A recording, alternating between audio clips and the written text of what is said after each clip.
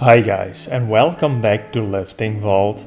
And today I want to talk about a video that SSJ Bob recently posted to his Instagram.